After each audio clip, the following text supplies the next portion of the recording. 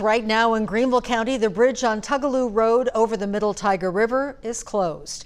We are told DOT crews are developing a plan for structural repairs. Sky 4 over the bridge this afternoon. Both eastbound and westbound lanes have detours in place. No word on when it will reopen.